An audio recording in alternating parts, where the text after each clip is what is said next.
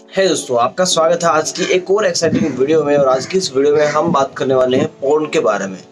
दोस्तों porn India में ban हो चुका है तो ऐसे में आपको पता होना चाहिए कि पोर्न आखिर इंडिया में क्यों बैन हुआ है, इसके पीछे का कारण क्या है और क्या ये कदम सही है या नहीं है।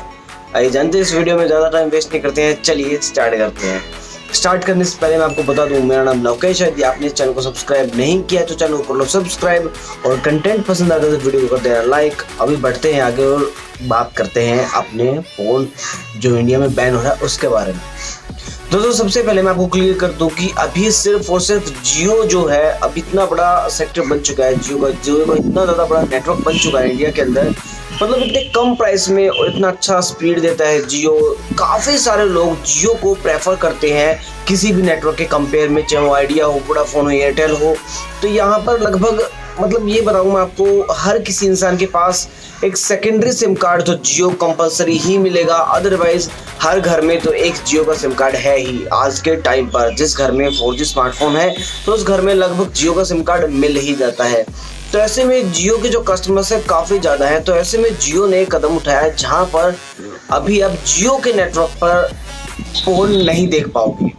तो यहाँ पर मैं आपको क्लियर कर दूँ, सभी वेबसाइट्स को बैन नहीं किया है। लगभग इंडिया के अंदर अभी 800 के समथिंग वेबसाइट्स को बैन कर दिया गया है और ऐसे में जो 800 से समथिंग वेबसाइट बैन की गई है तो यहाँ पर कुछ वेबसाइट्स जो लीगल थी, जिनके अंदर पोर्नोग्राफी का जो कंटेंट था वो नहीं था तो उनको अलाउ कर दिया फिर से इंडिया के अंदर। वो फिर से अपना बिज़नेस चालू कर सकते हैं इंडिया में। मतलब ठीक है चक्र दिया तो तो ऐसे में सबसे बड़ी बात ये थी कि तो 800 के लगभग जो वेबसाइट्स थी, वो बैन कर दी थी। तो यहाँ पर कुछ वेबसाइट्स को छोड़ के जो फिर से अलाउ कर दी हैं 30 से 40 वेबसाइट्स का बात कर रहा हूँ मैं अलग से।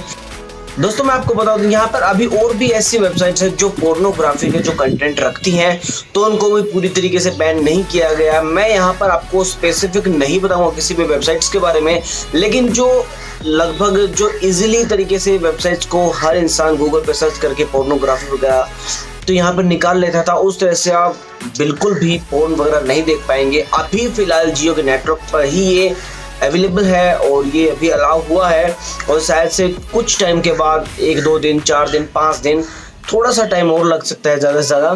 तो सभी नेटवर्क्स पर ये जो पोर्नोग्राफी के जो कंटेंट हैं, वो सभी बैन कर दिए जाएँगे पूरी तरीके से।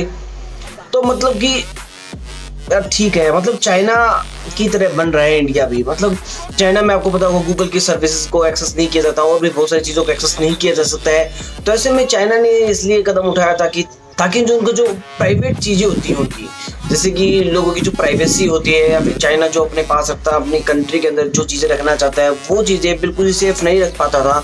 तो ऐसे में चाइना ने कदम उठाया था कि यहाँ पर जो वो सर्विस प्रोवाइडर है नेटवर्क प्रोवाइडर्स हैं तो उनको बोला गया, जो इंटरनेट प्रोवाइडर है, उनको बोला गया कि आप जो ये ऐसी ऐसी वेबसाइट्स हैं गूगल है, या फिर जो हम इसको बोलते हैं यूट्यूब है ऐसी वेबसाइट्स को बैन कर दिया जाए ताकि जो प्राइवेसी है चाइना की वो बनी रहे और चाइना की जो बातें हैं वो बिल्कुल सेफ़ रहें, चाइना के अंदर ही घूमते रहें। तो ऐसा नहीं है कि चाइना के लोग यूज़ नहीं करते यूट्यूब वगैरह।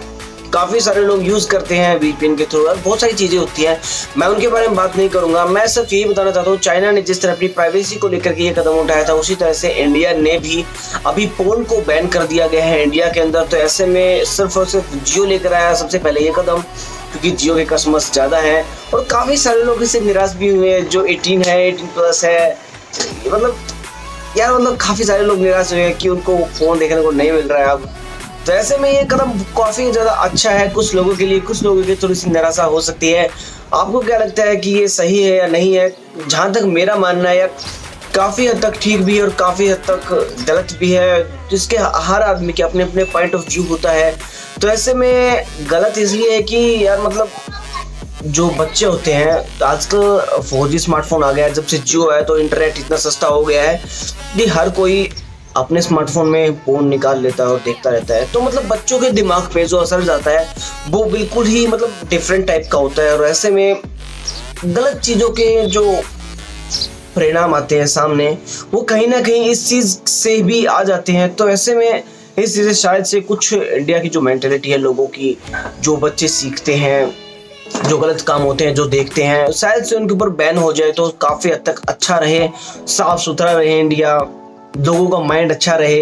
काफ़ी हद तक अच्छी चीज़ें हैं ये वाली। लेकिन एक पॉइंट ऑफ़ व्यू से देखा जाए कि ये चीज़ें गलत है, क्योंकि 18 प्लस के जो बच्चे हैं, उनको ये नॉलेज होनी चाहिए। बट यार, फिर भी जो क्लासेस होती हैं, आजकल के जो स्कूल्स होते हैं, उनमें ये चीज़ें सिखाई जाती हैं। वो पोर्नोग्राफी तो नहीं सिखाया जाता बट सेक्स से रिलेटेड बहुत सारी चीज़ें बताई जाती हैं। बट यार, फिर भी जो 18 प्लस के बच्चे हैं, वो अपना अपना पॉइंट ऑफ़ व्यू होता है। मैं इसके बारे में ज़्यादा डिटेल नहीं करूँगा, ज़्यादा डिटेल में नहीं बताऊँगा। तो ऐसे में आप बताओ, आपको क्या लगता है कि जो पोर्नोग्राफी जो इंडिया में बंद की गई है चाइल्ड पोर्नोग्राफी है या फिर वट एवर जो भी है मतलब क्या ये कदम सही है आपके हिसाब से? आपके कमेंट सेक्शन में ज़रूर बताओ, आपके विचार आपके विचार क्या हैं इस कदम के बारे में? और बस यार अगर आपको ये वीडियो अच्छी लगी हो तो इसको लाइक कर दो अपने दोस्तों के साथ शेयर कर दो। अच्छी बात है यार फ़ोन बैन हो जाए तो यार मतलब कहीं ना कहीं गलत हो देखते हैं आपका बताओ आपको क्या विचार है? एंड uh, मिलते हैं नेक्स्ट वीडियो में। Thanks for watching have a nice day जय हिंद।